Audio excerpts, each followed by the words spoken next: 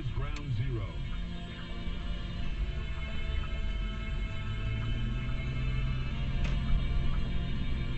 Numbers to call tonight 877-733-1011.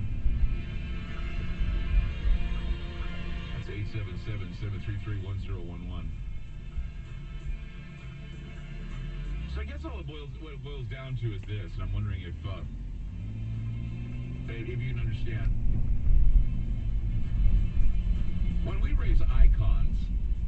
Or we develop iconography and we, we raise it up, whether it's, you know, a representation of a cross, a Baphomet, or anything,